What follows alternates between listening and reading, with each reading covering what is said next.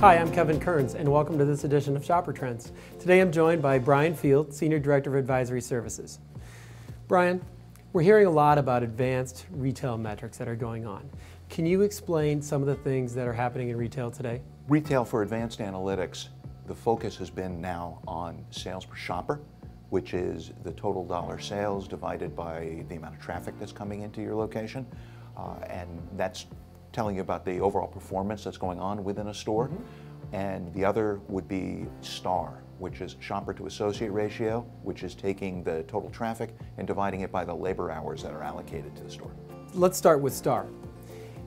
How should I think about shopper to associate ratio when I'm a retailer?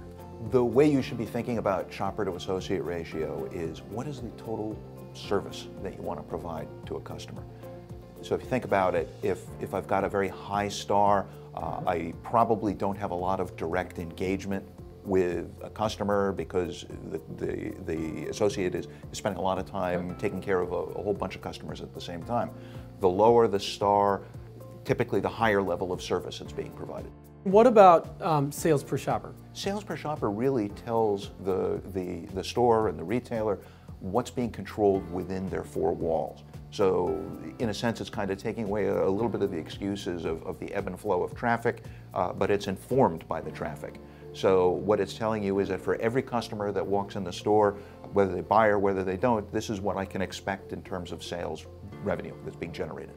How would a retailer, for example, take into account, so they measure sales per shopper and they measure, you know, shopper to associate ratio.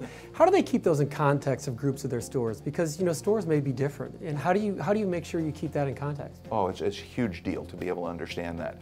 For example, uh, if, if you think about that, that star is representing the, the overall service level in a store, and sales per shopper is the ultimate performance of everything that's controlled within that store's four, four walls if you understand the different types of stores that you have, I like to call it peer grouping your stores, huh. uh, what it does is it, it, it, allows you to add context. So if I've got a store that's in, in a huge regional mall with tons of traffic, I can expect it to perform a certain way, whereas if I've got a, a small strip center store that, that is really dealing with a local population, mm -hmm. that performance is going to be uniquely different. I really should not goal them the same way. I should not expect similar results.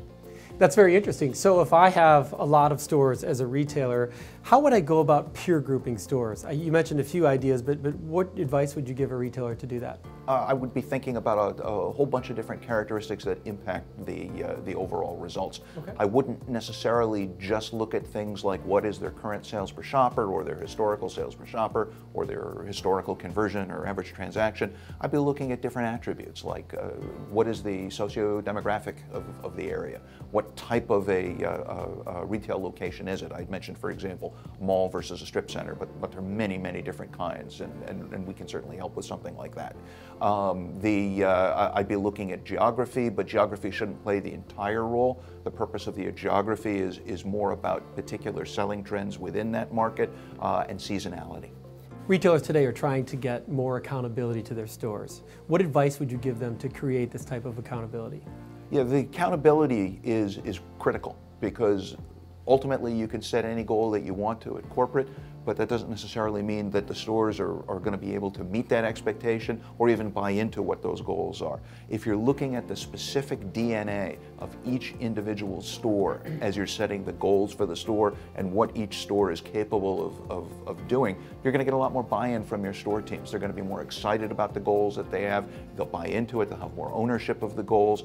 Um, and, and it allows you to set specific expectations that are, are uh, both uh, something they can, they can stretch to and, and are also achievable.